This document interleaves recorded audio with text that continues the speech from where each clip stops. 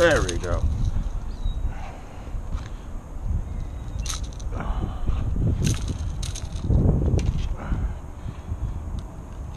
Ah.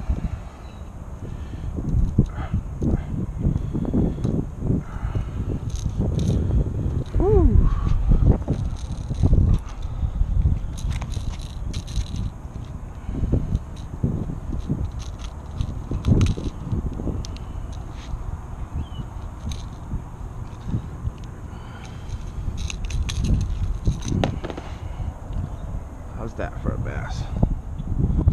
Just let it go. Oh.